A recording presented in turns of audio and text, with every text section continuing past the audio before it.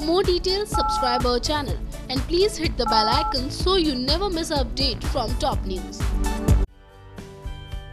आरोही और दीप की कहानी में ट्विस्ट ना आए ऐसा तो कभी नहीं हो सकता। जी हाँ अब शो के कल के एपिसोड को देख लीजिए जहाँ सबको ये लग रहा है कि आरोही प्रेग्नेंट है। तो वहीं दीप तो अपने बच्चे के लिए रूम भी सजा देता है और लेकर चला जाता है आरोही को वहाँ जहाँ से रोमा पहुँच जाती है और रोमा सबको बताती है कि ये अपशगुन हो गया है।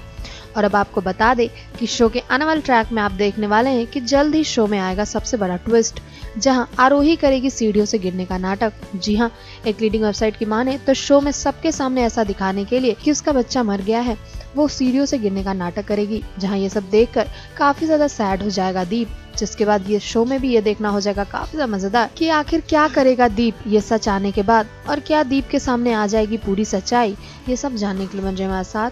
फ़िलहाल मैं शो में बस इतना ही और भी अपने फेवरेट इश्क में मर जाऊँ लेटेस्ट अपडेट्स को जानने के लिए सब्सक्राइब करना ना भूले हमारा channel top news just for you top news से काजल की report